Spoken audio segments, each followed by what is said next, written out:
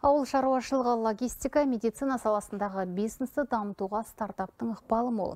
Назарбаев университетінің инновациялық, іскерлік және белсенділік орталығы 200-ден астам жобаны іске қосуға сеп болған.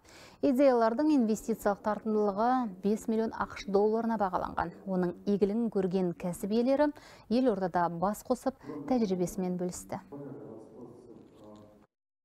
Ірі компаниялар өздерінің проблемаларын технологиялық проблемаларын біздің отандық стартаптар арқылы шешіп жатыр нәтижесін көріп жатыр және ол стартаптармен бірігіп бірге компания құрып басқа компанияларға сол шешімдерді қазір ұсынып жатыр.